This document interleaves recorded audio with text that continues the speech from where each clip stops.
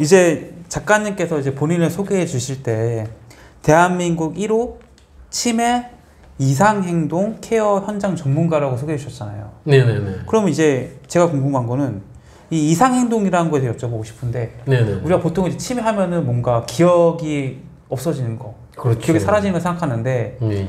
그 이상행동이라는 것은 뭐 기억 사라지는 그 외의 모든 행동을 얘기하는 건지 네네. 뭐 아니면은 뭐 이게 뭐 특정 치매 환자들만 뭐 보이는 행동을 뭐 얘기하는 건지 음. 이상 행동이란 건 어떤 걸 얘기하는 건가요? 보면 제가 이, 이 책을 쓰면서 약간 고민했던 거에 대해서 걸 얘기하면 이 용어 선택이었거든. 사실 조금 이상 행동이란 말이 조금 적절하지 않을 수도 있고 어떤 분은 어 저건 좀 아닌데라고 하실 분도 분명히 있을 거예요. 이거 보면 이 영어로는 BPSD 이렇게 얘기하거든요. 네. 그러면 B가 이제 behavior, 행동 관련, 그 다음에 이제 psychological하고 심리, 정신 관련이거든요. 그래서 symptom, 어떤 증상, 그 다음에 dementia라고 치매라고 이렇게 보통 하는데, 그 이제 영어로만 이렇게 하다 보면 정신 행동 증상이거든요. 치매 정신 행동 증상이거든요. 그래서 여기에는 아까 음, 방금 질문했듯이 여기는 행동적인 문제, 그 다음에 심리적인 정신적인 그런 문제가 다 같이 포함되는 거거든요. 이상 행동에는. 그래서 이상 행동이 심리와 행동적인 그런 문제들을 포괄적으로 했을 때 이상 행동이다. 제가 이제 표현은 그렇게 하는 거예요. 이상 행동. 그리고 이제 이상행동이라는 것은 이제 치매에 걸리신 분이 정상인이 하지 않는 행동 이게 이상행동으로 얘기하면 되나요? 여기서 지, 정상과 비정상 이렇게 저는 치매에 걸리지 않은 적절치 않다라고 생각하고요. 네. 왜냐하면 음. 치매라는 것은 내 관련 질환으로서 내가 뭐 손상을 입거나 음. 아니면 노화에 의해서 어찌 보면 제 기능을 못하는 거거든요, 이게. 네. 그런데 이것을 정상, 비정상이라고 하면 예를 들어서 우리 흔히 장애인 얘기 하잖아요. 어떤 사람이 다리를 좀 절어요. 그럼 저건 비정상이다라고 얘기하면 안 되거든요. 그거하고 저는 똑같다고 봐요. 약간 기능이 떨어질 뿐이에요. 약간 기능이 떨어질 뿐이기 때문에 그걸 비정상, 정상 얘기하면 좀 안 될 것 같아요. 예. 네.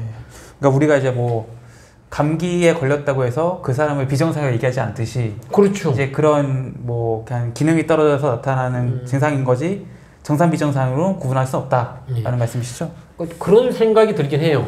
그러면 치매 어르신과 그냥 우리가 얘기하는 그냥 일반적인 어르신, 네. 치매가 아니다라고 얘기하는 네. 그 무슨 차이지라고 하면 그건 종이 뭐 백지장 차이 뭐 저는 그렇게 생각해요. 음. 왜냐하면 우리 일반인 중에서도 판단력이 떨어지는 사람이 있잖아요. 네. 기억력 좀 떨어진 사람이 있어요. 네. 그렇단 말이에요. 그 약간 조금 더 판단력이 좀 떨어지고 기억력을 조금 더 기억력이 좀 어, 저하됐다라 이 정도이지 치매 환자라해서 이건 뭐 의사소통이 안 되고 일상생활이 전혀 불가능하고 전혀 그렇게 생각하시면 안 될 것 같아요. 그럼 치매 초기에 좀 나타나는 주요 이상 증상들은 어떤 게 있을까요? 치매 초기에 나타나는 제가 쓰는 이상행동 이 안에는 대부분 네. 초기 쪽보다는 중고도 음. 중고도 치매 정도에서 나타나는 그 형상들이 증상들이거든요 이게 치매 초기 같은 경우는 이제 뭐 불안, 뭐 우울감, 초조, 뭐 무기력 뭐 이런 것들이 많이 나타나죠. 저는 그걸 이렇게 생각해요. 어떤 사람인데 컨디션이 좀 좋을 때가 있고 하루 중에서도 아니면 시간 시간에서도 네. 어, 또 조금 나쁜 그런 시기가 있단 말이야. 좋은 시간과 나쁜 시간이 있어요. 치매 어르신이. 그러면 나쁜 시간에는 아예 걸레가 본인을 자각하지 못하잖아요. 네. 근데 좋은 시간으로 치매가 전환이 되는 경우가 있죠. 그런 경우는 스스로를 돌아보게 되면, 어, 네가 본인의 행동이나 이런 부분들 본인이 인지를 해요. 그러면 불안하겠죠. 그죠. 우울하고.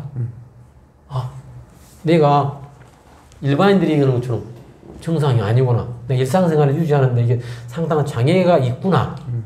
그럼 이제 좀 더 생각이 나가, 이제 그게 좀 발전을 하면, 야, 내가 자식들한테 또 큰 짐이 될 수 있겠구나. 네. 그 큰 짐 안에는 부양하는 그런 문제도 있지만 또 경제적인 문제. 아, 우리 아이들 지금 힘들게 힘들게 살아가는데 내가 또 짐이 되는구나. 그렇죠. 그러면 우울하단 말이에요. 그러니까 그 아까 우리 영화 얘기했죠. 로마에 보면 이순재 배우자를 데리고 택시 기사인데 죽겠다고 가잖아요. 물속으로 그냥 들어가겠다. 그러니까 순간적으로 그러니까 좋은 그 시간에는 어르신들이 그런 생각한다라는 거예요. 자녀들도 걱정하고, 아이고, 나로 인해서도 얘들이 얼마나 고생할까. 그럴 것 같아요.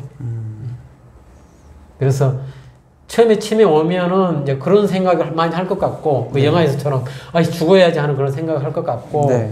그 다음에 중고도로 가게 되면 아까 좋은 시간보다 나쁜 시간이 더 많은 거예요.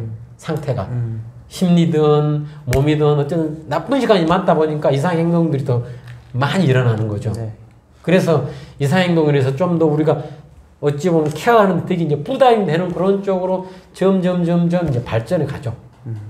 그 부분이 이제 보호자든 케어자들은 힘들게 하는 부분이고 또 그런 과정에서 어르신들도 모르는 게 아니에요. 본인을 어떤 행동이나 심리 상태를 인지를 해요. 그래서 괴로워하거든요. 그래서 저는 어르신들이 죽어야지라는 그 말이 어떤 사람들 그에 대해서 뭐 고지 뭐 믿으면 안 된다고 하는데 그게 어쩔 때 이해가 갈 것 같기도 해요. 그럼 뭐 중고도 치매 증상에는 어떤 것들이 있을까요? 중고도 치매 증상에서는 이제 이런 부분들이 있겠죠. 가장 이제 힘들어하는 그런 부분들이 뭐냐면 네. 배해 이상 행동. 배우라고 하면 돌아다니는 거 말하는 거. 그렇죠. 돌아다니고 저희가 이제 이런 부분도 봤어요. 그 어르신 같은 경우는 아주 절실한 천주교 신자였어요. 네. 그래서 집을 가면 이 십자가랑 성모 마리아상 다 있거든요. 네. 그런데 그분의 그 증상을 보면 가만히 있지를 못해요. 음. 계속 돌아다녀야 돼요. 음. 그 다음에 또 한 가지 중복적으로 나타나는 게 뭐냐면 배설 행동이 같이 겹쳐 있어요. 아. 그 이상 행동이라는 게 하나만 있는 게 아니라 한 어르신에서 여러 가지 이상 행동들이 동시에 나타날 수 있거든요. 그러니까 이 어르신 같은 경우에 이제 그런 어찌 보면 케이스예요. 그래서 돌아다니면서 예를 들어서 대변을 베란다에도 봐요. 네. 그 다음에 뭐 소변을 또 뭐 부엌 쪽에 있는 그쪽 베란다, 창가 쪽에 양쪽 왔다 갔다 하면서 그걸 봐요. 이런 이런 현상들. 그러다 보니까 또 그뿐만 아니라 예를 들어서 이제 본인 신체는 이제 건강하다 보니까 이출을 한단 말이에요. 이출하면 엘리베이터에다 대변하는 그런 보는 그런 경우도 있었어요. 어. 그러면 민원 들어줘, 관리실 전화 오죠. 그럼 배우자님 죽으려고 해요, 죽으려고 해요. 그렇다고 해서 계속 가다 놓을 수만은 또 없단 말이에요. 그렇죠. 그런 상황이다. 그게 가장 힘든 게 어찌보면 배해, 그 다음에 그 배설 행동, 배설 행동인 것 같아요. 배설 행동 같은 경우는 예를 들자면 그런 게 있어요. 음, 따님이에요, 이분은. 네. 따님인데 그동안 본인이 모시지 않고 며느님이 모셨었어요. 음. 며느님이 계속 케어하다가 너무 힘드니까 요양으로 모셨어요. 네. 그런데 이분은 어떤 뭐 효심이 어쨌든 본인을 자극했는지 움직이게 했는지 모르지만 어느 날 전화 왔어요.